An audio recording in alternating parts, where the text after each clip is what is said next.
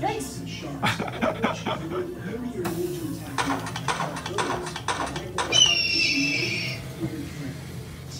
Sharp as razors. Jaws as strong as a hydraulic device. This man, twenty parts, and a new personal great white shark and survive. He was attacked let's spearfishing